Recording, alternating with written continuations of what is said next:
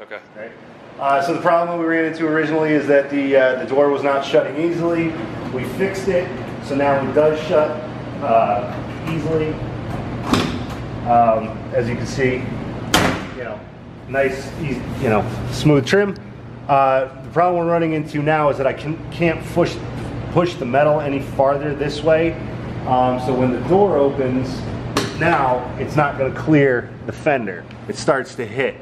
Um, so we're to have to grind and shave and do whatever we got to do to get it to go that way.